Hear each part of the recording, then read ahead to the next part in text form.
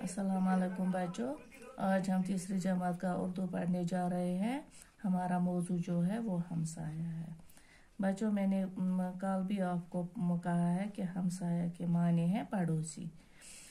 इस मौजू का आधा हिस्सा हमने पढ़ा है, आधा हम आज पढ़ेंगे। बच्चों, आप पेज नंबर अट्ठाईस निकालो। यहाँ से हमें पढ़ना है। आप किताब की तरफ़ देखो, मैं पढ़ाऊँगी। बच्चों गौतम अपने एक और हमसाया अली मोहम्मद के पास गया।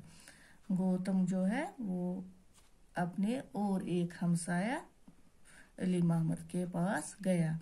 अली मोहम्मद, वो एक डॉक्टर है। अली महमद जो है, वो एक डॉक्टर है। उसको जगा, जगाया, उसको बेदार किया। डॉक्टर बाहर आया। डॉक्टर बाहर आ गया। वो गौतम को जानता था। डॉक्टर जो है वो गौतम को जानता था। उसने हैरान होते हुए पूछा। उसने गौतम को हैरान होते हुए पूछा, इतनी रात गए और कैसे आ गए? इतनी रात गए और यहाँ कैसे आ गए?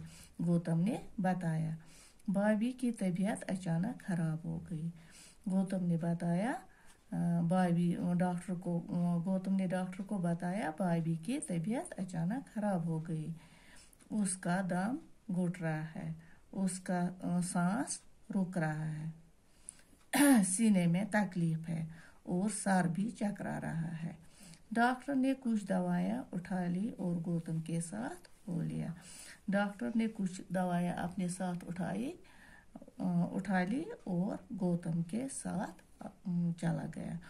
गौतम जब अली मोहम्मद को असलम के हाँ ले गया तो अली मोहम्मद ने पूछा, गौतम, जब अली मोहम्मद को असलम के घर ले गया तो अली मोहम्मद ने पूछा जो डॉक्टर है, अली मोहम्मद डॉक्टर का नाम है, ये ये तो आपका घर नहीं है।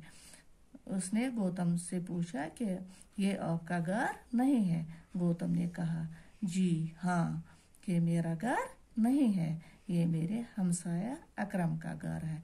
यो, ये मेरे हमसाया अकरम का घर है। वो यहाँ नहीं है। वो यहाँ नहीं है। बाहर गया है। वो बाहर गया है। उसकी घर वाली बीमार है। उसकी बीवी जो है वो बीमार है। बच्चों आज के लिए इतना। काफ़ी है।